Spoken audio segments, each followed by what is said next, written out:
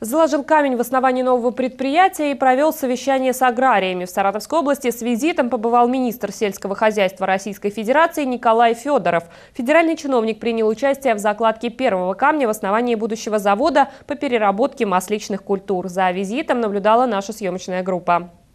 За два года в поселке Затонский Балаковского района построили мощный маслоэкстракционный завод. На его открытие съехались высокопоставленные гости, в числе которых министр сельского хозяйства Российской Федерации. Николай Федоров отметил, что пуск такого высокотехнологичного производства – событие, выходящее далеко за пределы Саратовской области. Имеющее значение это событие, я имею в виду для всей Российской Федерации, по крайней мере для европейской части России, ну и больше с учетом перспектив развития этого комплекса, ваш завод по глубокой переработке зерновых, сои масличных культур э, будет влиять и на то, как будет развиваться аграрный сектор, Валерий Васильевич, и на Дальнем Востоке, в Амурской области, допустим, э, потому что э, там тоже есть огромный дефицит именно в таких проектах по переработке масличных культур.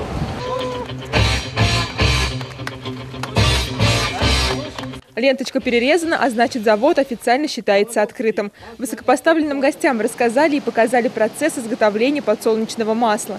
Представители власти посетили несколько цехов. Они осмотрели, как производится очистка масла. Побывали на главном пульте управления. Здесь сотрудники завода следят за работой сразу двух цехов – подготовительного и экстракционного. Это наш мозговой центр, отсюда управляются все процессы по всей компании. То есть э, от момента захода семечки до... Ну расскажи, покажи, закажи, покажи. На заводе установлено импортное оборудование. Функционирует оно круглосуточно. Сотрудники трудятся в четыре смены. Для обеспечения работы нового предприятия создано 230 дополнительных мест. Сейчас завод перерабатывает рекордное количество подсолнечников Российской Федерации – около 2000 тонн в сутки.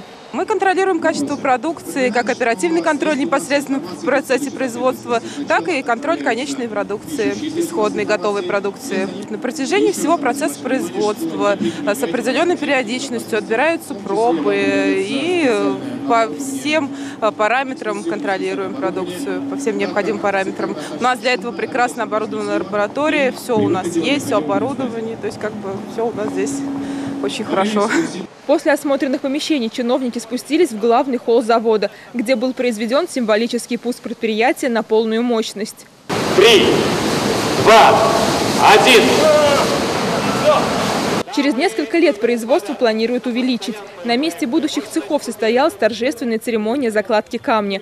Это будет вторая очередь завода. Рассчитан он на глубокую переработку масленичных культур мощностью 3000 тонн в сутки. Здесь будут перерабатывать сою. Стоимость проекта оценивается в 8 миллиардов рублей. После выхода завода на полную мощность годовое производство сои здесь составит 520 тысяч тонн.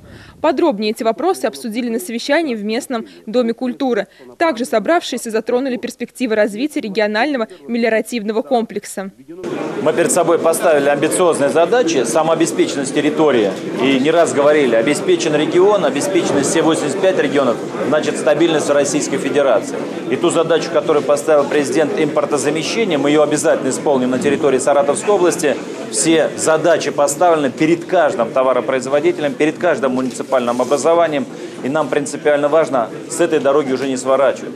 И подтверждение сегодня вот тот проект, а, я думаю, что высокотехнологичный проект, современный проект. Но мы поставили перед собой еще более серьезную задачу. В ходе совещания обсуждалось увеличение объемов производства сои и кукурузы на орошаемых землях в Саратовской области. Представители сельхозпредприятий региона поделились опытом возделывания сои и других масляничных культур. По словам собравшихся, вот нового предприятия еще один шаг на пути к обеспечению региона собственным продовольствием. Анастасия Куклева, Максим Пустовалов, РЕН-ТВ, Саратов.